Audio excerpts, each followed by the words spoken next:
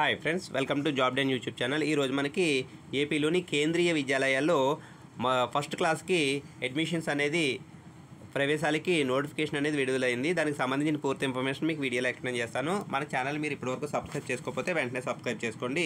ముఖ్యంగా చూసుకున్నట్లయితే అన్ని జిల్లాలలో కూడా కేంద్రీయ విద్యాలయాల్లో ఒకటో తరగతికి అంటే ఫస్ట్ స్టాండర్డ్కి నోటిఫికేషన్ అనేది రిలీజ్ చేశారన్నమాట అడ్మిషన్స్కి.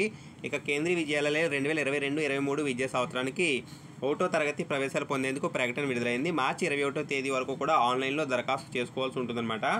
ఇక ఇంటర్మీడియట్ మినహా మిగిలిన తరగతుల్లో ప్రవేశాలు జూన్ ముప్పైవ తేదీలోపు పూర్తి చేసేందుకు ఏర్పాట్లు చేస్తున్నట్లు కూడా ఈ కేంద్రీయ విద్యాలయ వారు చెప్పడం జరిగింది. ఇక ముఖ్యంగా చూసుకున్నట్లయితే ఒకటో తరగతిలో ప్రవేశానికి మార్చి ఇరవై ఒకటి తేదీ రాత్రి ఏడు గంటల వరకు కూడా అవకాశం అనేది ఇచ్చారు కాబట్టి దరఖాస్తు చేసుకోమంటున్నారు. ఇక రెండో తరగతి ఐదవ తరగతుల్లో ఖాళీలను అయితే ఏప్రిల్ ఎనిమిది నుంచి పదహారవ తేదీలోపు భర్తీ చేస్తారన్నమాట.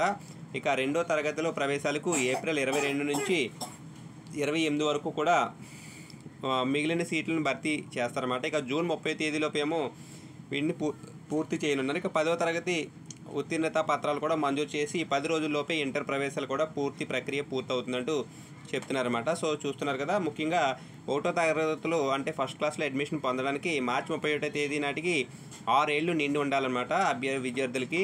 ఆరు నుంచి ఏడేళ్ళలోపు వారికి ఒకటో తరగతిలో ప్రవేశం అనేది లభిస్తుంది.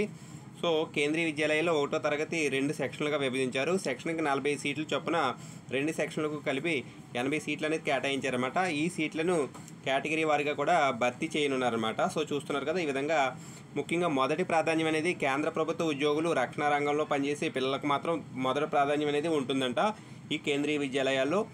ఇక వీటితో పాటు రాష్ట్ర ప్రభుత్వ అనుబంధ సంస్థ ఉద్యోగుల పిల్లలకు కూడా ప్రాధాన్యం అనేది ఇస్తారు. ఇక వీరికి సీట్ల కేటాయింపు జరిగిన తర్వాతే ఖాళీలు ఉంటే అప్పుడు స్థానికంగా ఉన్న నివాసంగా నివాసాలు ఉండేవారికి ఈ సీట్లు అనేది కేటాయిస్తారనమాట సో చూస్తున్నారు కదా ఈ విధంగా మనకి కేంద్రీయ విద్యాలయంలో ఫస్ట్ క్లాస్ అడ్మిషన్ సంబంధించి నోటిఫికేషన్ అనేది రిలీజ్ అయింది. సో విద్యార్థులు ఆరు నుంచి ఏడు సంవత్సరాల మధ్య ఉంటే కనుక వారిని దీనికి అప్లై చేసుకోవచ్చు అనమాట సో ఇది మనకి ఈరోజు లేటెస్ట్ న్యూస్. వీడియోని అయితే లైక్ చేయండి మన ఛానల్ సబ్స్క్రైబ్ చేయండి. Thank you friends.